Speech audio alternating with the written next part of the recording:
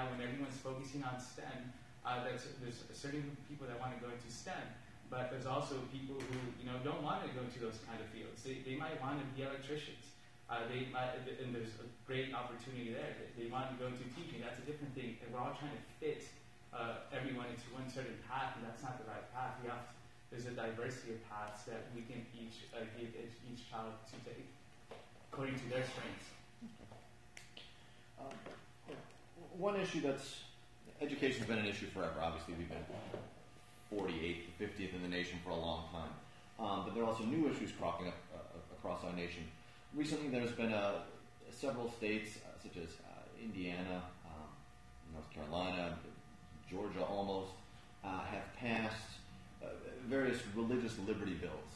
and the discussion of how they would affect the LGBT community has certainly um, been a hot topic as of late in Nevada, we had a, a, bill similar, a bathroom bill similar to the one in North Carolina that was recently uh, ratified uh, or signed into law, I should say.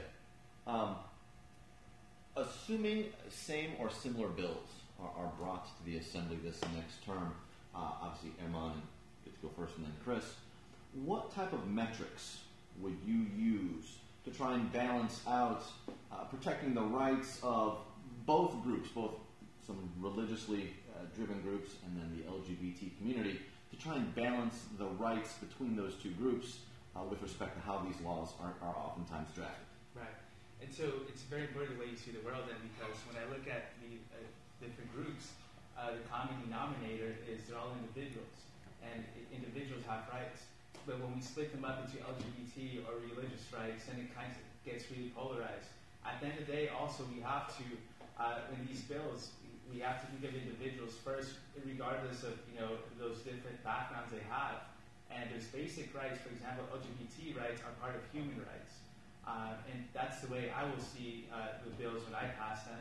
Um, and, and those, that, that's that's basically the way I see it right there.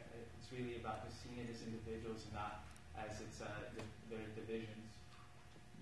Chris, I, I think that all Nevadans um, and, and you know, those Nevadans that need the protections the most, um, that are parts of, of groups that are, are, right now being discriminated against in, in certain uh, parts of, of, our society, need the most protection. And, and so I, I, think personal individual freedoms and personal individual civil rights uh, need to be protected. And, and I think that extends to um, uh, folks' religious beliefs, uh, absolutely, but it also extends to um, the LGBT youth that are in our school systems, and and their rights need to be protected, and they, their rights need to be respected um, the same way we respect other people's religious rights and religious freedoms. And I think that we can find a way of making that happen where they don't necessarily conflict.